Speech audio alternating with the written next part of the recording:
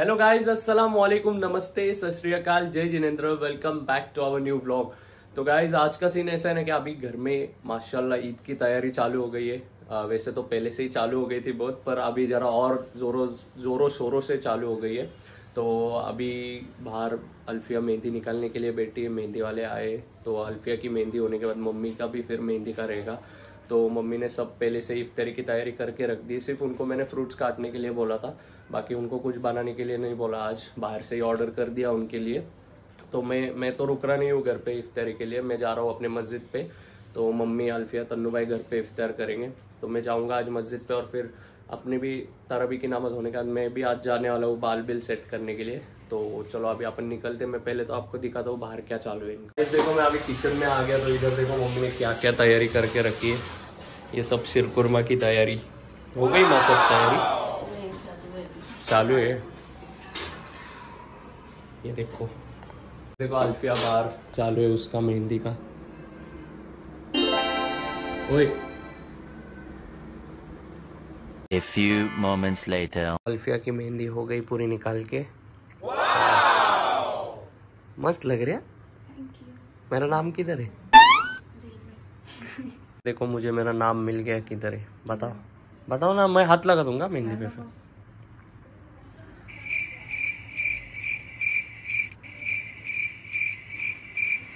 ये देखो। ये मैंने पता है तुमको।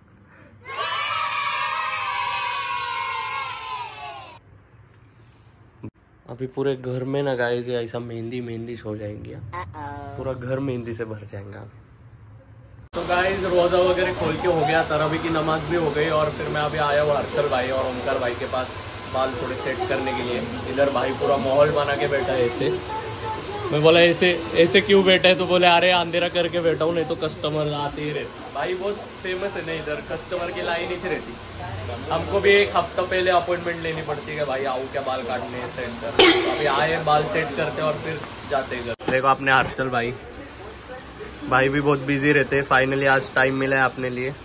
तो अभी करते हैं अपन जल्दी से हेयर कट भाई के पास और एक क्लाइंट है। अभी कितने बजे रहे दिखाओगे आपको? ये देखो। साढ़े दस। अभी मेरा हेयर कट वगैरह सब करने के लिए दो घंटा और उसके बाद भी भाई के पास क्लाइंट एक। A few moments later. तो गाइस हो गया अभी इधर। बाल सेट करके बेड भी सेट कर दिए। और देखो भाई ने कितने बजाए मेरे को इधर। बारह बज के दस मिनट। तो चलो अभी जल्दी जाते घर पे भूख भी बहुत लगी। भाई के पास आया ना हेयर कट के लिए तो टाइम कैसे जाता है मालूम ही नहीं पड़ता अभी आया इतना टाइम हो गया अभी जल्दी से जाते घर. तो गाइस शेरी हो गई ये करके और ये देखो तुम्हारा भाई क्या कर रहा है। बर्तन क्यों घस रहा है तुम्हारा भाई बर्तन? क्योंकि तुम्हारी भाभी और मतलब मम्मी और अल्फिया ने कल मेहंदी निकाले ना तो उनकी हाथ पे मेहंदी लगी नहीं करके फिर मैं बर्तन धो रहा रात में तन्नू भाई ने धोया और अभी मैं धो रहा हूँ और हमारी जो माउसी है वो आज छुट्टी पे क्योंकि गुड़ी पाड़वा है आप सबको भी हैप्पी गुड़ी पाड़वा तो इसलिए फिर मैं अभी बर्तन धो रहा हूँ। गाइस फिर अभी जाते फजर की नमाज़ पढ़ने के लिए। तो गाइज़ आ गए अभी नमाज़ पढ़ के अभी जाते और थोड़ा सो जाते और फिर उठने के बाद मिलता हूँ आपसे। Six and a half hours later. और तीन और आधा साढ़े तीन लीटर दूध ला। और दही के दो डब्बे ला। तो तीन लाने बड़े वाले। मम्मा तुम पहले तीन अच्छा तीन डब्बे दही के। और जल्दी और साढ़े तीन लीटर दूध। अरे कितने बार एक एक बात है मम्मा तुम तीन तीन बार बोल रही थी। चल जा तो गाइज़ मैं आपको आज का सीन बताता हूँ। आज मम्मी ने फिर से अपने पूरे फैमिली को घर पे इफ्तारी के लिए बुलाया है क्योंकि आज हो सकता है इंशाल्लाह कभी आखिरी रोज़ा हो तो इसलिए मम्मी ने ऐसे ही सबको बोला कि घर पे आओ रोज़ा खोलने के लिए। तो आज सब लोग आने वाले तो इधर मम्मी वही तन्नू भाई को समझा रही थी कि क्या क्या लेके आने गए तो मम्मी ने अभी क्या क्या बनाने वाले मम्मी और फिर बाहर से भी कुछ कुछ आएगा क्या क्या तो अभी तो नमाज़ पढ़ के हो गई हमारी जोहर की तो अभी दिखाता हूँ मैं आपको कैसा क्या क्या देखो रोजदार।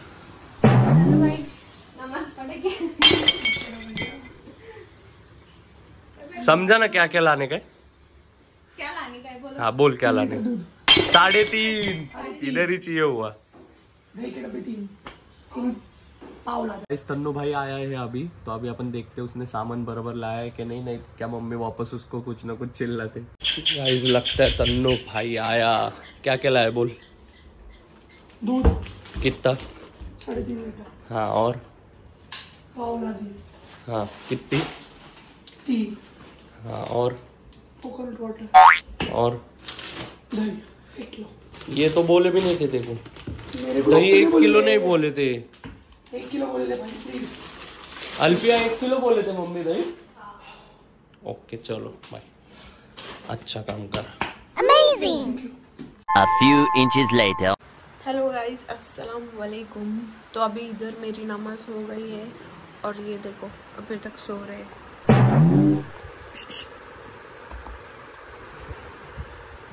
नमाज़ नहीं पढ़ने की? गाइस अभी जाते हैं किचन में और तैयारी करते हैं। चलो। उठो उठो उठो। उठो। थैंक यू तो अभी मैं आ गई किचन में। इधर तैयारी चालू हुई। क्या बना रही है? तो गाइज़ मैं अभी आया नमाज़ पढ़ के और थोड़ी सी नींद लग गई थी तो सो गया था। तो उठा नमाज़ पढ़ा और अभी आया हूँ इधर। देखो मम्मी और ये क्या कर रहे। ओए! बाप रे। ये तो गजब हो गया। नाजनीन चाची जल्दी कैसे क्या आए मैं अभी वो सोचा कि नाजनीन चाची हमेशा के जैसा लेट आएँगे पर नाजनीन चाची आज सबसे पहले आके बैठे इधर। कैसे क्या? मैं मेहंदी लगाने गई थी ना। अच्छा मेहंदी लगाने गए थे। वाह माशाल्लाह। अच्छा है। ओ भाई फ्रूट्स काट रहे और मम्मी इधर उनके डिशेस बना रहे अल्फिया क्या बना रहे और फिर तुम कुछ बनाने वाले ना वो? कुछ तो बनाने वाले ना। आलू। आलू बनाने अच्छा। अपना शोएब भाई भी आया है। और शोएब भाई। कुछ तो बोलो हाथ तो दिखाओ तुम्हारा हमेशा के जैसा। तो इधर देखो अभी ये तैयारी चालू है गाइस नाजदीन चाची प्रॉपर सुपरविजन कर रहे हैं कि ठीक से काम कर रहे हैं कि नहीं।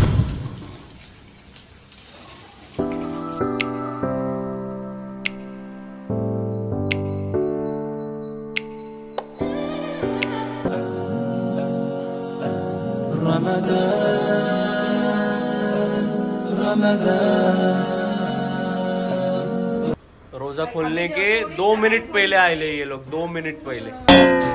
ये देखो टाइम देखो। दो ही मिनट।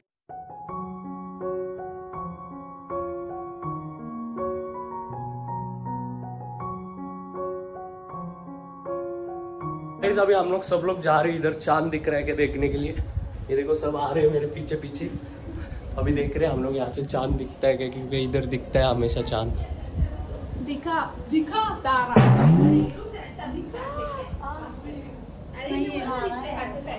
अभी तो यहाँ से तो दिख रहा नहीं है। चलो बाद में दिखा तो आ जाएगा अभी। तो चलो फिर अभी जाते हैं। अरे रज्जो अच्छी आए हमारे चाँद देखने को। चाँद देखो। दिखा के देखो तुमको दिखता क्या। शोएब भाई। गाइस तुमको मालूम है कि आज मेरे साथ बहुत बड़ा धोखा हो गया बहुत बड़ा धोखा। मेरे को है ना मतलब और वो धोखा और वो धोखा किसने दिया मालूम है क्या? और कोई नहीं मम्मी और अल्फिया ने धोखा दिला मेरे को। हाँ सुनो सब लोग मम्मी और अल्फिया ने धोखा दिले मेरे को। तो वो क्या धोखा है ना वो यही बताएँगे इधर। मम्मी इधर आओ तुम इधर आओ। तन्नू इधर आ तू भी। इधर आओ। सब लोग आओ इधर। जल्दी आओ इधर आओ तो इधर आ क्या हाँ सुनो अभी तो क्या धोखा दिले ना तन्नू बोल जरा क्या धोखा दिले लोग ने तो जान लो ये बोलेंगे नहीं गाइस मटन का खिला इसको चिकन बोल के मुझे मटन खिलाया और मैं मटन खाता नहीं गोश्त में तुमको कुछ समझा सुनना। ये लोगों ने मुझे चिकन बोल के मटन का कबाब खिलाया और मैं मटन खाता नहीं। अरे और मैं इनको दस बार पूछ रहा मम्मी चिकन है चिकन है। अरे नहीं समझा पर मैं इतना अरे पर इन लोगों ने झूठ बात क्यों करे? मैं तो खाया तो है है पर ये लोग ने झूठ बोले मालूम है क्या? मैंने ना तीन तीन कबाब खाए और तीन कबाब खाने के बाद मेरे को मालूम पड़ा कि गोश्त का है कर इनको झाड़ू मारने दो सर को। चलो। तो गाइस और आपको मालूम है क्या मेरे को है ना ये गोश्त का कबाब है ये किससे मालूम पड़ा? तो ये देखो आपने शोएब भाई से मालूम पड़ा। को इतना नहीं मालूम चढ़ा अरे मेरे को लगा अभी मम्मी और अल्फिया बोले चिकन का है तो मैं खाया। क्लियर कट टेस्ट समझते हैं देखो ऐसा अभी धोखा दिया है मेरे को। तो फिर अभी ओ ये क्या है? इतना सारा खाना? इतना सारा? खाना का है उसमें। गाइस आज मेरे को सच्ची मेरे पे आज कुछ ना कुछ चालू ही है इनका। हाँ। प्रैंक कर रहे प्रैंक तो ये की तैयारी का है कुरमा का है और खाने का भगोना इधर तो गाइस फिर चलो अभी ये ब्लॉग को अपन इधर ही एंड करते हैं। अगला वाला ब्लॉग कौन सा आएगा? ईद का। हाँ, ईद का ब्लॉग आएगा अगला वाला। तो ये ब्लॉग अपन इधर ही एंड करते हैं। उम्मीद करते हैं कि आपको ब्लॉग देख के मज़ा आया होगा। अगर वीडियो अच्छा लगा तो वीडियो को। Like comment share and subscribe और अपना ख्याल रखना और हमेशा मुस्कुराते रहना। जल्दी मिलते हैं आपसे नेक्स्ट ब्लॉग में। अल्लाह हाफिज। क्या कर रहे हैं? तुम्हारा स्क्रू टाइट कर रही